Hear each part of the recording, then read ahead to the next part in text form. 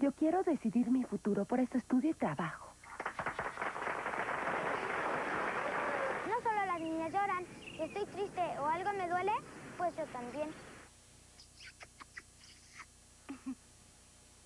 Yo no me ando acostando con todas, ni ando regando hijos. Yo también me cuido. ¿Qué tal? Con estas ideas sí avanzamos. Atentamente, las mujeres.